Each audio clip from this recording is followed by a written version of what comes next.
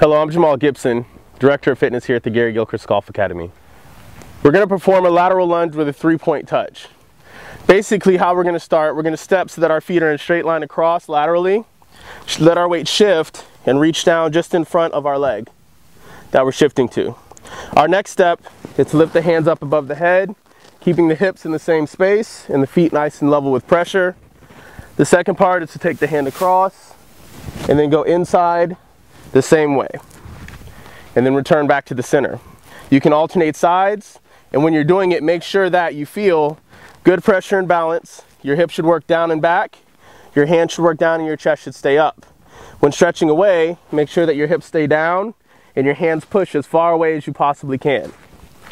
In the transition, we want to make sure when we go into rotation that we use the hand that's across the body and lead and press so that way we get some assistance from all the musculature in the upper body. And then when going inside, keep the same height and just work and let the body continue to rotate to free up more musculature for internal rotation. This will help you in your golf swing to keep your core upright and use your hips a little bit more in your swing.